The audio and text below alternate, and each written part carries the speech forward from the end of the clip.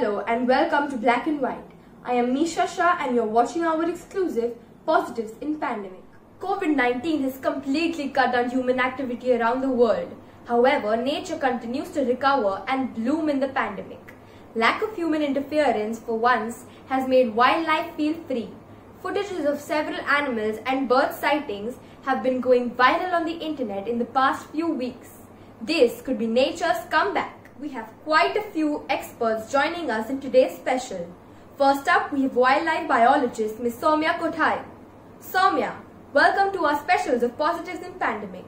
Can you tell us about the extent of the effect of this pandemic on nature and wildlife? Yes, Nisha, nature is flourishing in its own way and it's beautiful to witness it in these difficult times. The effects are evident not only in our city but all over the country. So far, there have been multiple sightings. A leopard was found close to an Air Force base near Patna in Bihar. Three sambar deer were spotted walking on the streets of Uttarakhand. A bison was found in the marketplace in Karnataka.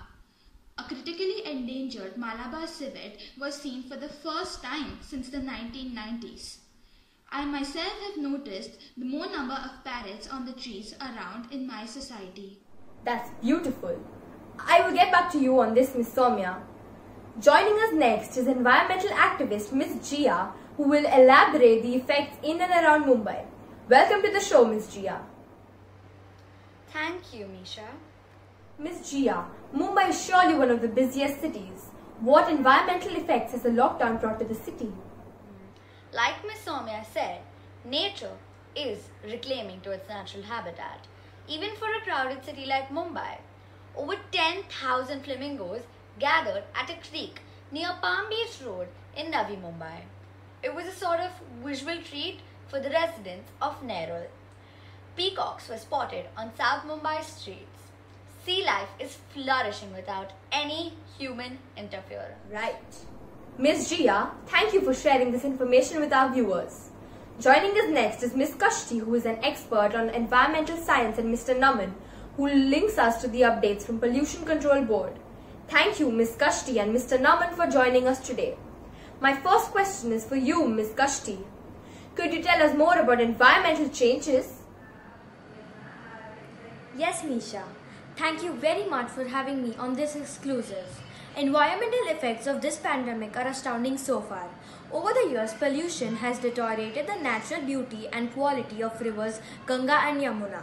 But since the time this lockdown has started, Ganga Pollution Control Board has affirmed that water quality has improved. There is a reduction in fecal coliform levels. The water is now free of foam and other industrial waste. Well, that's interesting. Mr. Naman, what would you like to comment? Absolutely right, Ms. Similar effects in the air quality. The effect is indeed dramatic.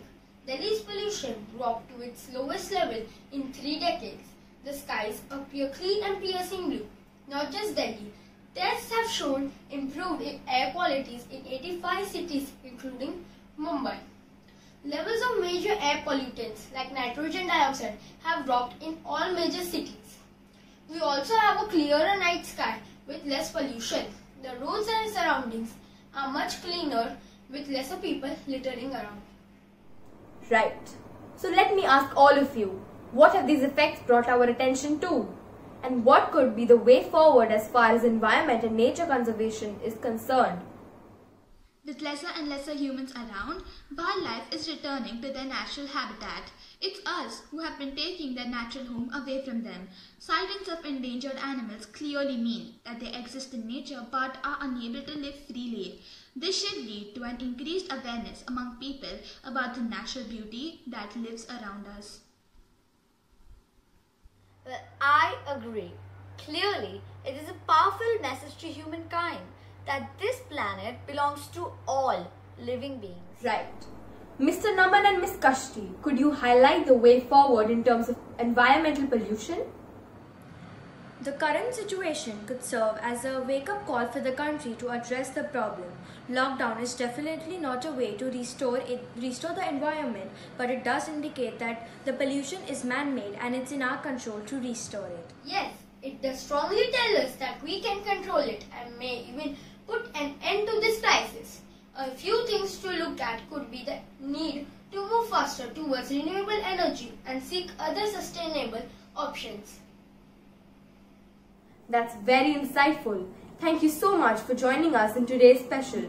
That's all for today's exclusive on Positives in Pandemic. I am Misha Shah and you're watching our exclusive Black and White.